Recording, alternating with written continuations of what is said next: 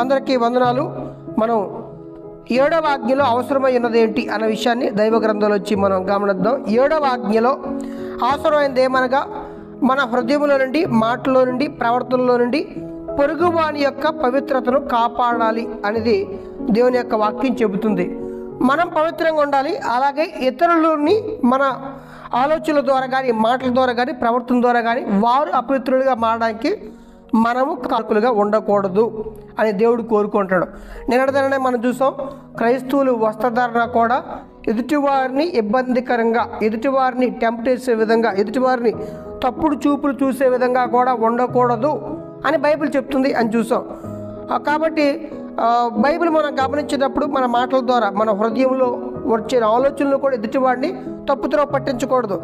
నిజంగానే ఎదుటివారి వలన మనం తప్పుడు త్రోవలోకి వెళ్తామంటే వెళ్తాం. అలా వెళ్ళే సందర్భంలో నాకు బాగా తెలిసిన ఒక ఆయన చాలా అద్భుతమైన సింగరు.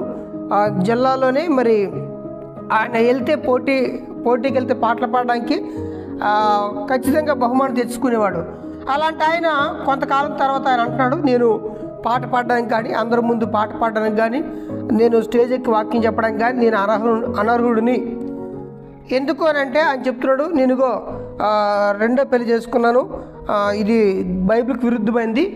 కానీ నేను అవ్వడం కారణం ఏంటంటే ఒకనొక సంస్థ వాళ్ళు ఏం చేశారంటే రెండో పెళ్ళి చేసుకోవచ్చు తప్పు లేదు ఎవరు చెప్పారు నీకు అని దేవుడు రెండో పెళ్ళి చేసుకున్నాడు అన్నట్టుగా వాళ్ళు బోధించారంట. ఏంటి దేవుడు అలా రెండో పెళ్ళి చేసుకున్నాడంటే?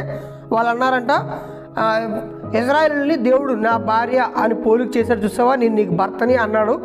తర్వాత మరలా కొత్త నిబంధనలకు వచ్చేసరికి క్రైస్తవులని అన్ని జనాంగం మారిన తర్వాత వారిని సంఘంగా పోల్చి వారిని కూడా భార్య అన్నాడు చూసారా?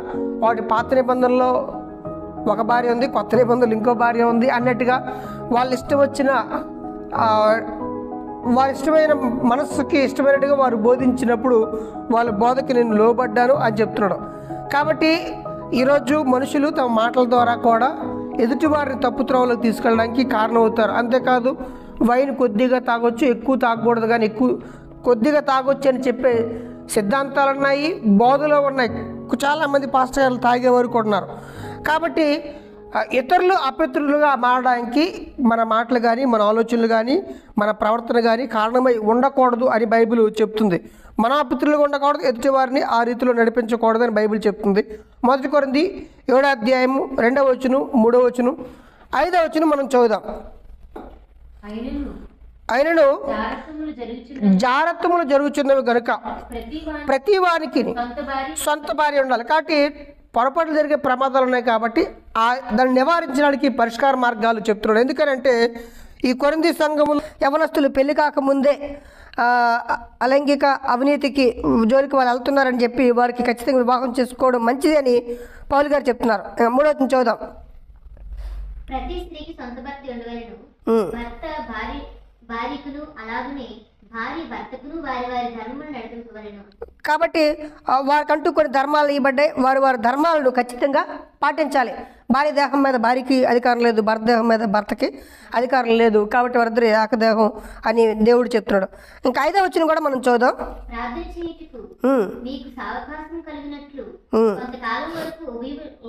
సమ్మతి తప్ప ఉమ్. ఒకరికొకరు ఎడబాయకుడి. మీరు నిలపలేకపోయినప్పుడు సాతాను మిమ్మల్ని శోధింపకున్నట్లు తిరిగి కలుసుకునడి. ఇది నా హితోపదేశమే ఆజ్ఞ కాదు. కాబట్టి దేవుడు చెప్తున్నాడు భార్య భర్తలు దూరంగా ఉండడం వల్ల ఎంత ప్రమాదం అంటే సాతానుడు మిమ్మల్ని శోధించి పాపంలో పడేస్తాడు. కాబట్టి ఎదుటివారు పాపంలోకి వెళ్ళకుండా భార్య కావచ్చు భర్త కావచ్చు ఇతరులు కావచ్చు కాబట్టి మన పొరపాటు అనేది ఉండకూడదు. దేవుడు మన ప్రవర్తన విషయంలో చాలా జాగ్రత్తగా తీసుకోవాలి అని దేవుడు చెప్తున్నాడు. కాబట్టి దైవ గ్రంథంలో మనం గమనించినప్పుడు ఈ ఏడవ ఆజ్ఞ ఏం చెప్తుందంటే వ్యభిచారం చేయొద్దు అని చెప్పింది. వ్యభిచారం చేయొద్దు అనే విషయాన్ని చెబుతూను ఎదుటివారు వ్యభిచార తలంపుల్లోకి వెళ్ళకుండా నీ ప్రవర్తన కారణమై ఉండకూడదని కూడా దేవుడు చెబుతున్నాడు అని బైబిల్ చెబుతుంది. అంతేకాదు మనం గమనిస్తే మనుషులు అపవిత్రులుగా ఎందుకు మారిపోతారంటే కారణాన్ని కూడా దైవ గ్రంథం చెప్పింది. గల్తీలు రాసిన పత్రిక ఐదో అధ్యాయం పంతొమ్మిది ఇరవై ఒకటో వచనాలను మనం ఒకసారి ధ్యానిద్దాం. శరీర కార్యములు స్పష్టమై ఉన్నవి.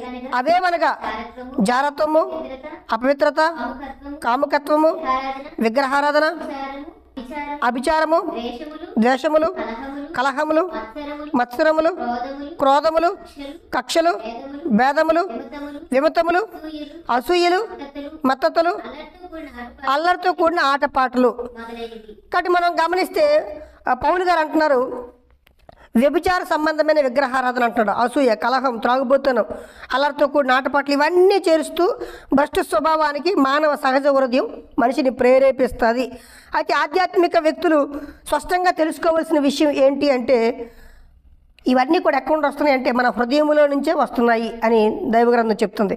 మతస్వార్త పదిహేను పంతొమ్మిది వచ్చినండి మనం చదివితే అక్కడ యేసుప్రభు వారు చెప్తున్నారు మనుషుల్ని అపవిత్రపరిచేది మనుషుల్ని పాపానికి నడిపించడానికి మన మన దేహంలో నుంచే ఆ పాపాలన్నీ పుట్టుకొస్తున్నాయి అనే విషయాన్ని కూడా యేసుప్రభు చెప్తున్నాడు కాబట్టి ఈ విషయాన్ని భక్తిపరులైన వారంతా గ్రహిస్తారు గ్రహించాలి కూడా ఉమ్. చదువుదాం ఒకసారి చాలా అద్భుతంగా ఉంటుంది దురాలోచనలు నరహత్యలు వ్యభిచారములు వేశ్యాగమనము వేశ్యాగమనములు దొంగతనములు అబద్ధ సాక్ష్యములు దేవదూషణలు హృదయములో వచ్చింది కాబట్టి మానవ హృదయంలో నుంచి ఇవన్నీ వస్తున్నాయి.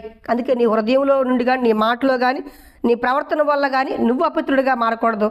పక్కవాడిని అపవిత్రతలోకి తీసుకెళ్ళకూడదని బైబిల్ చెప్తుంది. ఇదే విషయాన్ని మార్క్స్ వార్త ఏడు అధ్యాయం ఇరవై ఒకటి నుండి ఇరవై మూడు వరకు చెప్పాడు. రోమిల్ రాసిన పత్రిక ఇరవై తొమ్మిది నుండి ముప్పై రెండు వరకు మనం గమనిస్తే వారు దేవుడికి చోటు ఇవ్వలేకపోయారు కనుక వారి హృదయాలు ఏమయ్యాయో అందక ఎలా అంధకారం అయ్యాయో ఎలా సాతానుడికి దేవుడు భ్రష్ట ఆత్మకి ఎలా అప్పగించాడో ఇవన్నీ కూడా చెప్పుకుంటూ వస్తున్నాడు. కాబట్టి ఇవన్నీ కూడా మనం గమనిస్తే మనుషులు దేవుడికి వ్యతిరేకంగా చేసే పనులు ఎందుకు అలాంటి వ్యతిరేకమైన పనులకు వెళ్ళిపోయారు నాశనానికి వెళ్ళిపోయారు అని మనం గమనిస్తే దేవుడికి చోటు ఇవ్వలేదు. కాబట్టి మనుషులు భ్రష్టత్వానికి వెళ్ళిపోవడానికి ప్రధానమైన కారణాన్ని మనం గమనిస్తే మనుషులు దేవుడికి చోటు ఇవ్వకపోవడం వల్ల తమ హృదయాలను అణుచుకోకపోవడం వల్ల. కాబట్టి దేవుని యొక్క వాక్యం మనకేం చెప్తుంది అని మనం చూస్తే దేవుని యొక్క వాక్యానికి చోటు ఇవ్వాలని అపవిత్రతకు వెళ్ళిపోవడానికి కారణం మనుషులు దేవుడి యొక్క ఆజ్ఞని మీరడం అని చెప్తుంది. కాబట్టి దీనికి పరిష్కార మార్గాన్ని బైబిల్ ఖచ్చితంగా చెప్పింది. ఆ విషయాన్ని కూడా మనం గమనిద్దాం. గల్తీ రాసిన పత్రిక ఐదో అధ్యాయం ఇరవై రెండో వచనంలో మనం చదివితే దీనికి పరిష్కార మార్గాన్ని చెప్పినట్టుగా మనం చూస్తాం. అయితే అయితే ఆత్మఫలమేమ ఆత్మఫలం ఏమనగా ప్రేమ కాబట్టి దేవుడి యొక్క శరీర సంబంధమైన కార్యక్రమాల వల్ల మనుషులు దేవుడికి దూరంగా మారుతున్నారని చెప్తూ ఆత్మఫలమేమనగా అంటే విశ్వాసుల్లో మనలో ఉన్న ఆత్మ వలన కాదు కానీ పరిశుద్ధాత్మ వలన మాత్రమే ఈ ఫలాలు మనం సొంతం చేసుకోగలమని అది మనకు మనం సంపాదించుకోలేమని దేవుని యొక్క వాక్యం చెప్తుంది. ఆత్మ ఫలం ఏమనగా అంటే పరిశుద్ధాత్మ ఫలం ఏమనగా? అంటే దీని అర్థం ఏంటి? పరిశుద్ధాత్మ దేవుడే మనలో మార్పును తీసుకొస్తాడు అని. అంత మాత్రాన మనం చేతులు కట్టుకొని కూర్చోమని కాదు కానీ దేవుని యొక్క వాక్యాన్ని వినడం దేవుని యొక్క వాక్యాన్ని పాటించడం. ఎందుకంటే క్రైస్తవ జీవితం పరిశుద్ధాత్మ దేవుడు మనలో పనిచేస్తాడు. అలాగే మన జీవితంలో మనము కూడా కాలక్రమేణా మనం భక్తి జీవితాలు ఎదుగుతూ ఉంటామని బైబిల్ నూటి నోరుపాలు బోధిస్తుంది. మత్స్వార్త పదమూడు అధ్యాయం ఇరవై మూడు వచ్చిన మనం చూద్దాం. ఇది ఒకరోజు జరిగే పని కాదు జీవితాంతం కూడా జరిగే పనిగా బైబిల్ దాన్ని వివరిస్తుంది. ఒకసారి చూద్దాం. పదమూడు ఇరవై మూడు మత్స్వార్త మంచి నేలను మంచి నేలను విత్తబడినవాడు. వాక్యము విని గ్రహించువాడు. అట్టి వారు అట్టివారు సఫలులై ఒకడు నూరంతులుగాను ఒకడు అరవదంతులుగాను ఒకడు ముప్పదంతులుగాను ఫలించినను. కాబట్టి ఆధ్యాత్మిక ఫలితాలు మనం గమనిస్తే ఓపిక ఉండాలంట వాడు మంచి నేలను పోలినవాడిగా వాడు ఉంటుందంట వాక్యం విత్తబడిందంట. విత్తబడిన తర్వాత ఒకడు ముప్పదంతులు అరవదంతులు నూరంతులు ఓపికతో వాడు ఫలిస్తున్నాడు. కాబట్టి క్రీస్తులో మొట్టమొదటి నమ్మకంగా మనం ఉంచినట్లయితే దేవుడు మన జీవితాల్లో ప్రేమ ఆనందం సంతోషాన్ని మన జీవితాల్లో పెళ్ళిబుక్కించి అభివృద్ధించి పరిపక్వ స్థితికి ఇతరులు ఆధ్యాత్మిక జీవితానికి మన ఇతరులకు కూడా కలిగించడానికి మన జీవితాల్లో అటువంటి అనుభవాల్లోకి దేవుడు నడిపిస్తాడని బైబిల్ చెప్తుంది. కాబట్టి బైబిల్లో మనం గమనిస్తే రెండో పేతురు మొదటి అధ్యాయం ఐదు నుండి ఎనిమిది వరకు మనం చూసిన అక్కడ కొన్ని పోలికలు చేసుకుంటూ వచ్చాడు. ఎలాంటి లక్షణాలు? క్రైస్తవ జీవితంలో ఆత్మ సంబంధంగా వాడు అభివృద్ధి అవుతాడో ఆ విషయాన్ని కూడా దేవుడు పోలిక చేసుకుంటూ రాసుకుంటూ వచ్చాడు. ఆ హేతువు చేతనే. ఆ హేతువు చేతనే. మీ మట్టుకు మీరు పూర్ణ జాగ్రత్త గలవారే. మీ విశ్వాసమునందు సద్గుణమును సద్గుణమునందు జ్ఞానమును జ్ఞానమునందు ఆశానిగ్రహమును ఆశా నిగ్రహమును ఆశానిగ్రహమునందు సహనమును సహనమునందు భక్తిని.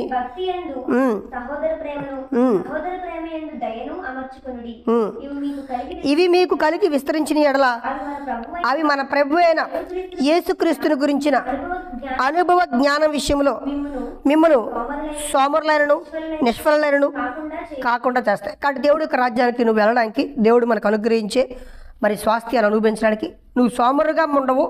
అంతేకాదు నిష్ఫలాలు ఫలాలు లేని చెట్లాగా ఉండవు. నువ్వు ఫలిస్తావని చెప్పాడు.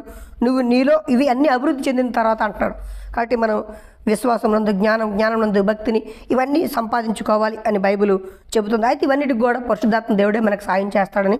ఇది ఒకరోజు జరిగే పని కాదని క్రైస్తవ జీవితంలో ఇది క్రమేపీ జరిగేది అని బైబిల్ చెప్తుంది. కాబట్టి ఏడో ఆజ్ఞ మనకేం చెప్తుంది అని మనం చూస్తే ఇతరులకి మనం అపిత్రులుగా మారకూడదు. ఇతరులను అపిత్రులుగా చేయడానికి మనం కారణం కాకూడదు అని బైబిల్ చెప్తుంది. కాబట్టి మనం ఎందుకు అపిత్రులు అవుతాం అని గమనించినట్లయితే శరీర సంబంధమైన మనస్సు వలన మన హృదయంలో పాపపు ఆలోచనలు లోకానుసారంగా జీవించడం వల్ల వస్తాయని దేవుని ఆత్మ చేత ఆత్మఫలం మన జీవితంలో అభివృద్ధి పొందుతుందని ఇది దేవుడు మన నుండి కోరుకుంటాడని దేవుని యొక్క వాక్యానికి మనం లోబడేవారుగా వాక్యానికి ప్రాధాన్యత ఇచ్చేవారుగా ఉండాలని పరిశుద్ధాత్మ చేత నడిపించబడాలని దైవంలో దైవ గ్రంథంలో దీన్ని రూపుదిద్దుకోవాలని దేవుడు కోరుకుంటున్నాడు. ఏడవ ఆజ్ఞ.